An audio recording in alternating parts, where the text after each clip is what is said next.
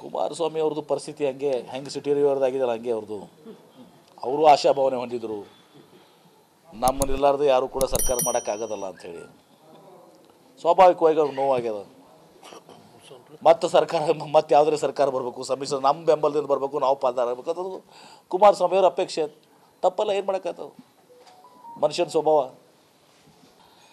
ಕುಮಾರಸ್ವಾಮಿ ಅವ್ರದ್ದು ಪರಿಸ್ಥಿತಿ ಹಂಗೆ, ಹೆಂಗೆ ಸಿಟಿ ರಿವರ್ದಾಗಿದೆಯಲ್ಲ ಹಂಗೆ ಅವ್ರದ್ದು.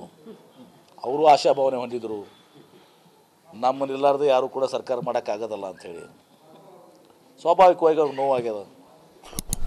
ಮತ್ತೆ ಸರ್ಕಾರ, ಮತ್ತೆ ಯಾವುದೇ ಸರ್ಕಾರ ಬರಬೇಕು, ಸಮ್ಮಿಶ್ರ ನಮ್ಮ ಬೆಂಬಲದಿಂದ ಬರಬೇಕು, ನಾವು ಪಾಲ್ದಾರ ಆಗ್ಬೇಕು. ಅದು ಕುಮಾರಸ್ವಾಮಿಯವ್ರ ಅಪೇಕ್ಷೆ.